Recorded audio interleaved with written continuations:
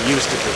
Uh, tough times economically for the church in the last 20 years, or Yeah, I think so because I think that you know, I mean, one way of looking at it is probably that since the 1980s, probably there, there's been a growing perception on the part of some people that there's reason to be skeptical about the legitimacy of the church. I think that's probably meant less uh, less money flowing in. You know, where 30 years ago there just would have been a kind of automatic, uh, you know, flow from tithe.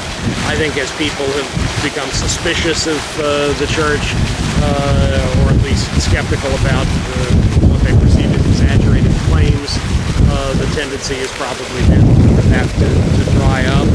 Uh, plus, of course, I think in North America, as elsewhere in the world, uh, you know, the growth of membership among members of the apocalyptic sect is often among people in the economic margins who are not uh, able to contribute as much. And by contrast, the folks who have done well economically are often those who are hitting out the other side of the revolving door. Uh, you know, how many Adventists worldwide? 20 million? 14? I doubt there are tw- there are 20. I mean, I don't. Uh, there could be could be close to 20, but uh, It used to double every 20 years, the church, I remember. yeah, and I think there's still tremendous growth in uh, Latin America and in Africa, and uh, certainly the numbers are increasing quite dramatically.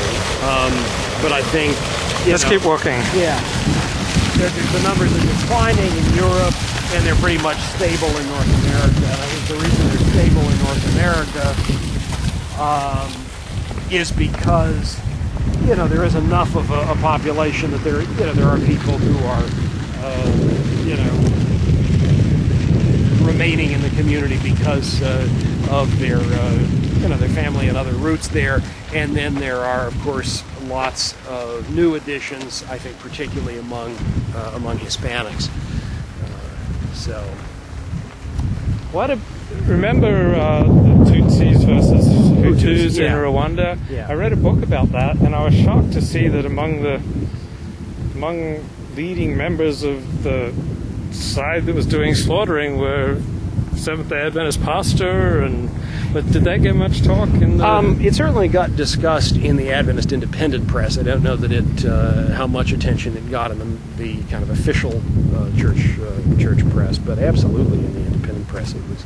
Bit of a shocker, you know, Adventist pastor Well, be yeah. like right in the center of a genocide. No, I absolutely. It's like, you know, whoa. And of course, I, I don't know whether uh, when the, the book was that you, you, you Um, was it the Gourevitch book? Uh, Yes, yes, And yes. I think it was probably after that that that guy, you know, ended up standing trial over here. Uh, under, you know, I'm not sure what some international human rights Right, statute right. that we incorporated into national law. He stood trial in Texas, I think, along with his son, and I don't know what I don't know what finally became of that trial. Yeah, it's like even even you know Adventism can't completely remake the, the bloodthirsty, you know, tribal genocidal urge. No, and I guess it's you Nothing, know, nothing is foolproof from these you know very primitive uh, yeah. genocidal urges.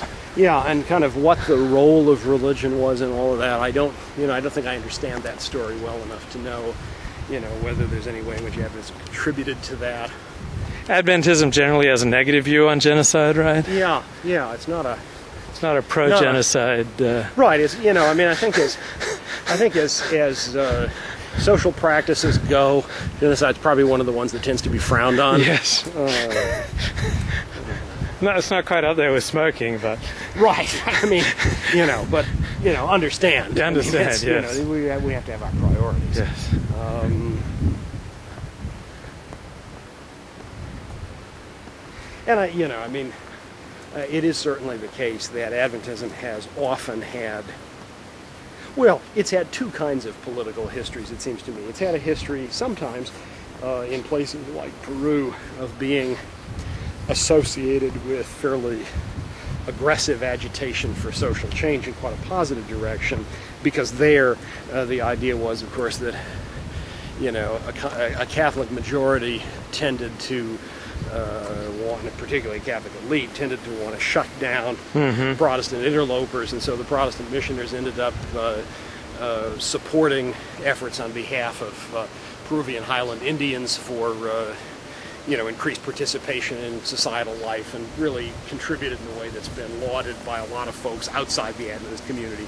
On the other hand, there are a number of other uh, environments in which Adventism has uh, fairly embarrassingly allied itself with some some unpleasant people um, who you know have you know whether it's just that they had Adventist doctors they liked or whether they wanted to uh, create a counterweight to the Catholic Church or whatever else. Uh, you know, in places like the Dominican Republic, Rafael Trujillo, I think, had a Oh. kind of chummy relationship with, with some Ah. Adventists and Ferdinand Marcos and so forth. I mean, not not you know some of the, the finest people uh, in po- the world's political history. So, What's this? Angwin? Angwin Hall. Angwin Hall. This is uh, this is uh, a women's dormitory, and I'm not sure that this story is accurate, but the story in any event is that it is a women's that it is called Angwin Hall uh, because uh, at a point when probably at a point when the boards were uh, La Sierra and Loma Linda were largely identical as they still are to to great an extent, I think. Um, there was some kind of political shenanigans of some kind that allowed money to be snagged from PUC uh, to be brought here, and I think this Ah. was some somebody's idea of a joke to uh, to uh, call it Angwin Hall in honor, you know, in honor of that. Uh, so you know, we can build a dorm with this ten thousand that we sneaked away from PUC. And, uh, uh, that may be false, but that's that's the story at any rate. Uh, this is also uh, a dormitory. This is um, uh, Gladwyn Hall, which Oh, that's familiar. Which is a- a- that name? uh, now a dorm for graduate students. Ah. Huh. Now, when does the school year begin? Uh, two weeks. Two weeks. Okay. How you doing? Good to see you. Good. keep well. Awesome. Students from all over the world? So, ninety percent are American, or No, I would think. When, when I was a student, 90% were American. I would guess 75% were, uh, with the remaining 20%, 25% from all over. I would guess that number is probably higher now. so I see some people on uh, message boards related to my dad's talk calling Adventism a third world religion. That's because the growth in numbers is Yes. now from the third world. Absolutely. Yeah, I mean, it's, as I say, it's stable here, declining in Europe, and Right. ballooning in, uh, in the third world.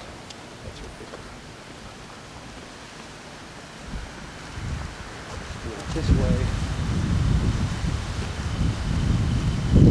The Visual Arts Center that I showed you earlier Mhm.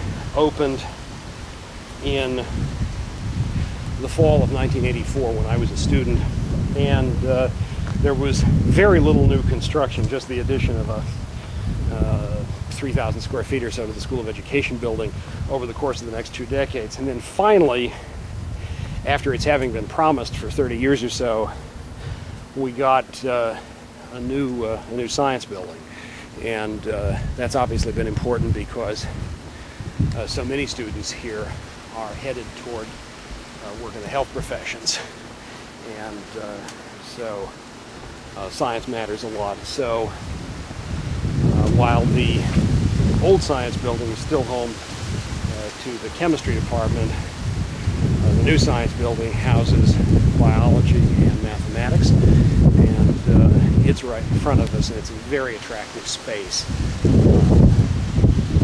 Main price science complex.